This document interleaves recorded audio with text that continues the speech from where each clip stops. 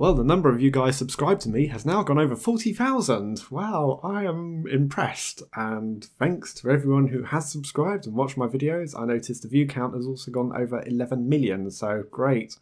Uh, not sure this was quite what I envisaged when I started um, seven years ago, near enough now, isn't it? But I have stubbornly stayed to a niche market on YouTube, in the world really, Linux and security. And I think it's pretty good going, to be honest. So, yes, thanks to everyone who has subscribed and viewed my videos. Now, a little treat for you guys. I'm going to do a question and answer session. So, anything you want to ask me, drop me a comment either on this video or you can find me on social media. Let's see. Oh, my name must be really distinct here. I've managed to get Quidsup on Twitter, Google Plus, and Minds. yeah.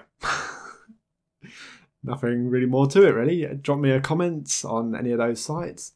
Well, I have to say the rendering in Minds does look pretty poor on Firefox, but that's my choice for a custom font.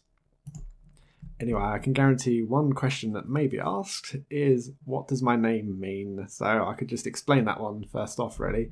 So when I came up with the name Quids Up, it was um, many years ago now. Was I? In my early 20s. Absolutely poor as anything. And the term quids in the United Kingdom means money. It is a slang term for money, so my name literally means money up. But I also like the term that it could be in Latin as quid being what. So it could be what's up. But I do actually quite like that one as well. That was completely unintentional, but yes, what's up or money up. Quids, Q, quids up. It's all good. I know the number of videos I'm doing these days has kind of slowed down a bit. Real world commitments. Uh, I changed job a few months ago. Absolutely love what I do but it's really tiring. I work normal office hours. Well, I say normal, it tends to be over office hours. Very busy these days. And also relationship. Lovely lady I've met. That would be three months ago. Better get that right, and I? Because I know she watches my videos and I'll get clouted round the head if I get that wrong. No, relationship distractions and real world distractions. But I try. I keep doing these Week in Linux news videos, which incidentally have been going over a year now. I thought it was coming up to a year about now, but no, it was uh, a couple of weeks ago was the one year mark.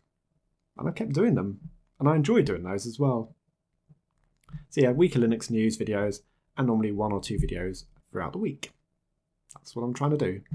But yeah, thank you all for watching, and let me know if you've got any questions. I will try and answer. Well, see you all later.